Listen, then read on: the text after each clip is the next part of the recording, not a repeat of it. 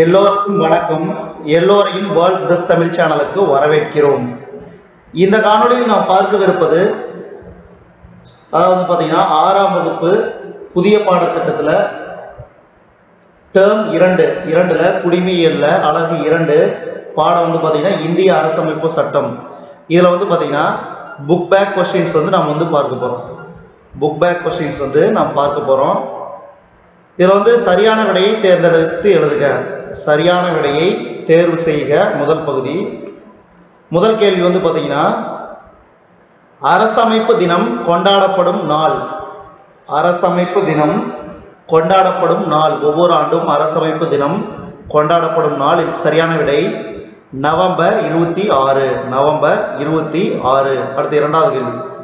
அரசமைப்பு சட்டத்தை டேசாம் ஆண்டு அரசியல் நிர்ணய சபை ஏற்றுக்கொண்டது. அரசமைப்பு சட்டத்தை டேசாம் ஆண்டு அரசியல் நிர்ணய சபை ஏற்றுக்கொண்டது. சரியான விடை ஆயிரத்தி தொள்ளாயிரத்தி நாற்பத்தி ஒன்பது.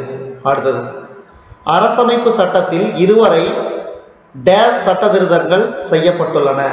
இதுக்கு சரியான விடை ஆப்ஷன் ஆ அதாவது நூத்தி ஒரு சட்ட திருத்தங்கள். அடுத்தது. நான்காவது கேள்வி. இஃது அடிப்படை உரிமை அன்று ஓட்டுரிமை. அடுத்த ஐந்தாவது கேள்வி. இந்திய குடிமக்களின் வாக்குரிமைக்கான வயது. இந்திய குடிமக்களின் வாக்குரிமைக்கான வயது. சரியான விடை பதினெட்டு பதினெட்டு. அடுத்தது. கோடிட்ட இடங்களை நிரப்புக. அதுல வந்து பாத்தீங்கன்னா முதல் கேள்வி அரசியல் நிர்ணய சபையின் தலைவராக தேர்ந்தெடுக்கப்பட்டவர் யார்? இதுக்கு சரியான விடை doctor B R Ambedkar. Ambedkar. அதே மாதிரி இரண்டாவது கேள்வி. இந்திய அரசமைப்பு சட்டத்தின் தந்தை என போற்றப்படுபவர் யார்? இந்திய அரசமைப்பு சட்டத்தின் தந்தை என போற்றப்படுபவர் doctor B R Ambedkar.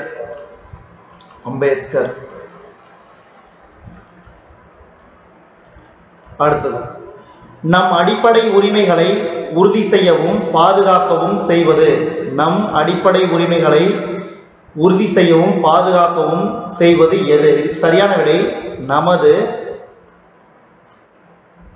அரசமைப்பு சட்டம். அரசமைப்பு அரசியல் அமைப்பு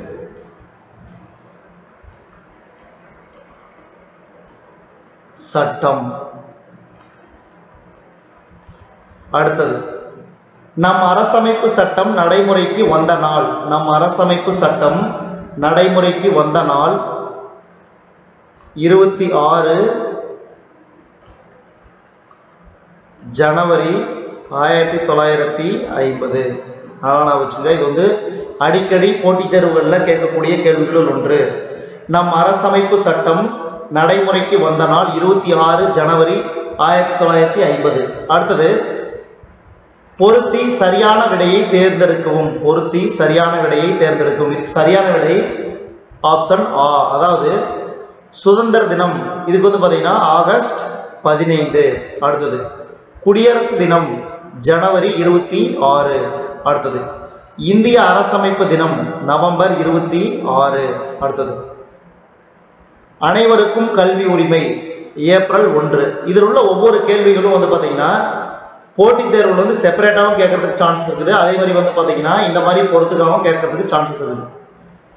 அடுத்தது நாம் பார்க்க போகிறது இந்த பாடத்திட்டத்தையும் முழுமையாக பார்த்துருவோம் இதில் வந்து மிக முக்கியமான கேள்விகள்லாம் இடம்பெற்றுள்ளது. இந்திய அரசமைப்பு சட்டம். இதில் வந்து பார்த்தீங்கன்னா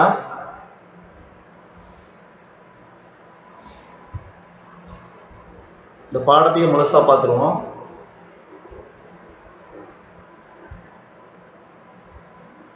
இந்திய அரசமைப்பு சட்டம் இந்திய அரசமைப்பு சட்டம்.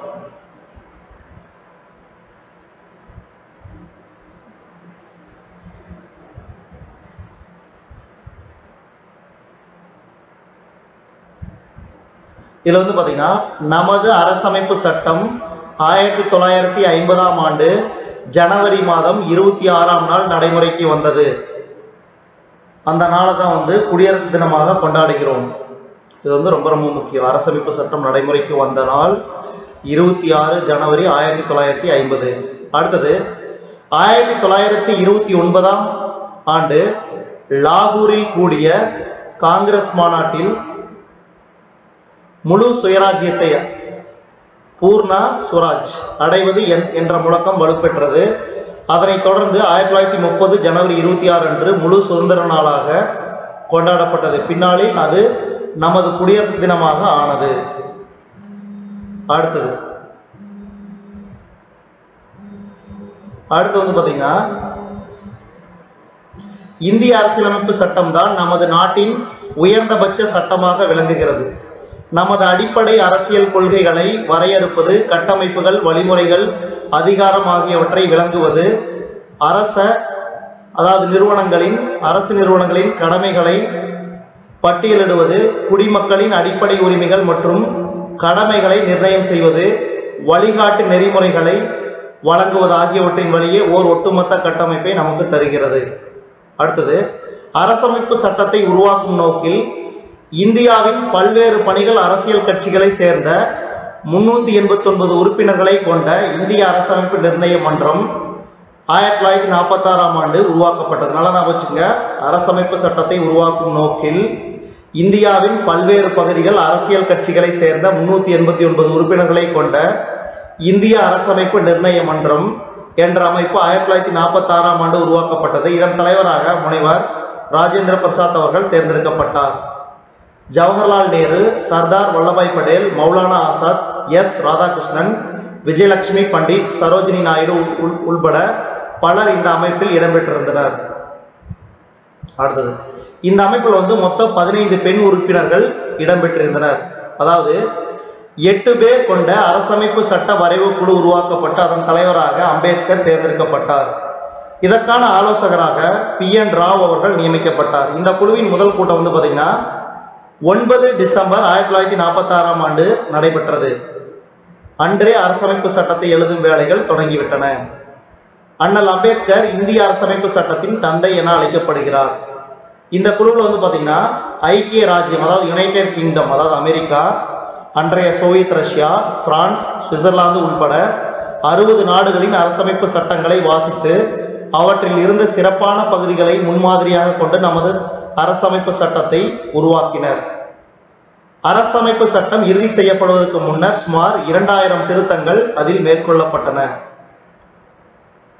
அதே மாதிரி வந்து பார்த்தீங்கன்னா இந்திய அரசமைப்பு சட்டம் வந்து இரண்டு ஆண்டுகள் பதினோரு மாதம் பதினேழு பதினேழு நாட்களில் எழுதி முடிக்கப்பட்டன. இது வந்து very very important repeated question அடிக்கடி கேட்பாங்க.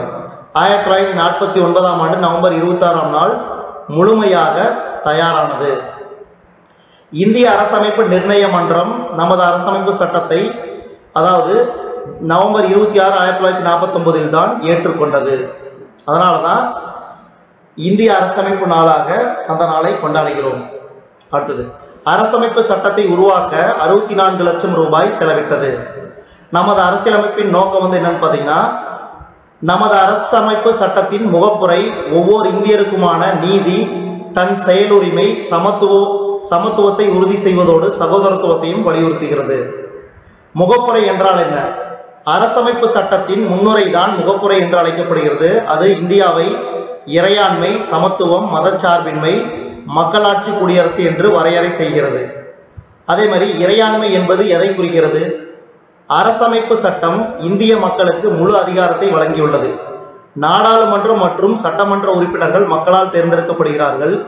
அவர்களிடம் நிறை நிறைவேற்று அதிகாரம் இருக்கிறது. இப்படியாக ஒரு நாட்டின் உச்சநிலை அதிகாரத்தையே இறையாண்மை என்கிறோம். அடுத்தது மதச்சார்பின்மை என்பது மக்கள் தங்கள் விருப்பப்படி வெவ்வேறு இறை மத நம்பிக்கை கொண்டவர்களாக இருக்க அனுமதிக்கும் சட்டம் அவர்களுக்கு ஒரே விதமான பாகுபாடற்ற உரிமைகளை வழங்குகிறது. அரசிற்கான மதம் என்று ஒன்று கிடையாது என்பதால் அரசு அனைத்து மதங்களையும் ஒரே தளத்தில் வைத்தே பார்க்கிறது.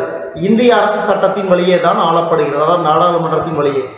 இந்திய அரசமைப்பு சட்டமானது மாநில மற்றும் ஒன்றிய அரசுகள் சட்டமன்ற ஆட்சி முறையை பின்பற்றி ஆட்சி செய்ய வழிவகை செய்துள்ளது. இந்த அரசமைப்பின்படி நிறைவேற்று அதிகாரம் சட்டமன்றத்தின் கூட்டு பொறுப்பாக இருக்கும். அதிக உறுப்பினர்களை கொண்ட கட்சியே ஆட்சி அமைக்கும். அடுத்தது அடிப்படை உரிமை என்றால் என்ன?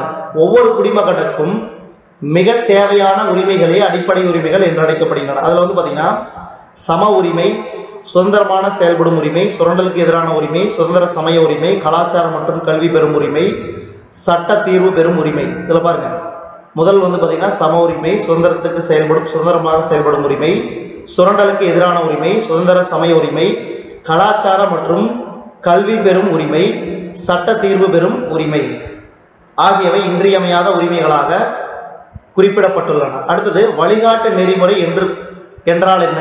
அதாவது அரசுகள் சட்டம் இயற்றும் போதும் ஆட்சி செய்யும் போதும் கவனத்தில் கொள்ள வேண்டிய சில வழிகாட்டல்களை அரசமைப்பு சட்டம் வழங்கியுள்ளது. இவை கட்டாயமாக நடைமுறைப்படுத்த வேண்டியவை அல்ல என்றாலும் கவனத்தில் கொள்ளப்பட வேண்டியவை. அடுத்து ஓட்டுரிமை.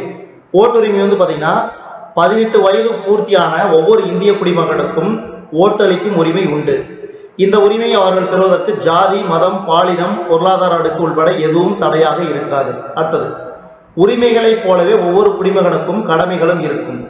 அதாவது தேசிய கொடியையும் தேசிய கீதத்தையும் மதித்து நடப்பது எல்லா குடிமக்களுக்கும் அரசியல் சட்டத்தை மதித்து பேணுவது சுதந்திர சுதந்திரத்திற்காக போராடிய நமது தலைவர்களை பின்பற்றி நடப்பது நாட்டை பாதுகாப்பது நாட்டுக்காக தேவைப்படும் போது சேவை செய்ய தயாராக இருப்பது ஜாதி மத மொழி இன எல்லை கடந்த அனைவரும் சகோதர மனப்பான்மையுடன் இருப்பது. நமது பழம்பெருமை மிக்க பாரம்பரியத்தை காப்பது காடுகள் நதிகள் ஏரிகள் உள்ளிட்ட இயற்கையையும் வனவிலங்குகளையும் பாதுகாப்பது அறிவியல் மனிதாபிமானம் சீர்திருத்த உணர்வுகளை வளர்ப்பது வன்முறைகளை தவிர்த்து அரசு சொத்துக்களை பாதுகாப்பது. குழந்தைகளின் பெற்றோரே அல்லது பாதுகாவலரோ தமது குழந்தைகளுக்கு கல்வி வாய்ப்புகளை ஆறு முதல் பதினான்கு வயதுக்குள் தருவது ஆகியவற்றை அரசியல் சட்டம் நமது கடமைகளாக அறிவித்துள்ளது. அடுத்தது வந்து இதில் மிக முக்கியமாக தெரிஞ்சுக்க வேண்டியது அரசமைப்பு சட்ட வரைவு குழுவில் வந்து யாராக இருந்தாங்க?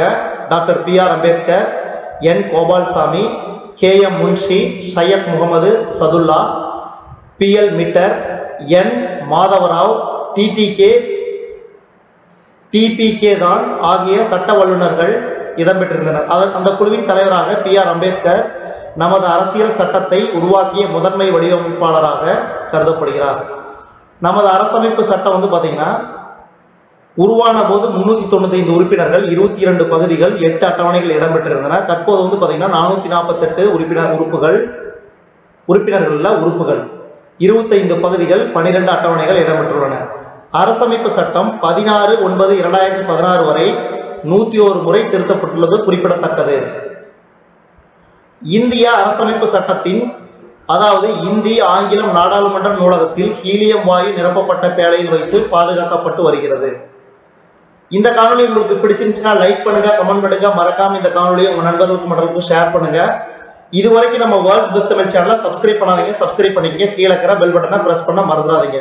நம்ம வேர்ல்ட்ஸ் பெஸ்ட் தமிழ் சேனல்ல இந்திய அரசமைப்பு சட்டம் பாடப்பகுதிக்கான பாடத்தையும் மிக முக்கிய குறிப்புகளும் மற்றும் வினாவிடைகளையும் இந்த காணொலி வாயிலாக பார்த்தமைக்கு நன்றி.